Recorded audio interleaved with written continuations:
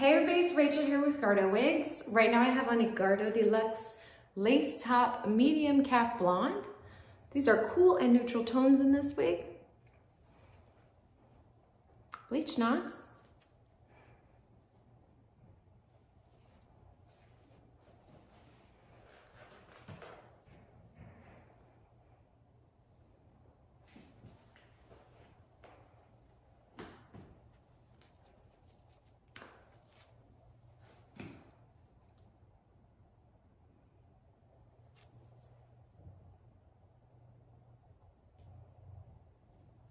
Medium cap, closed wefting with adjustable straps, ear tabs with clips, and a lace top, lace front.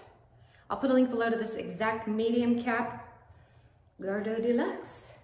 Thank you.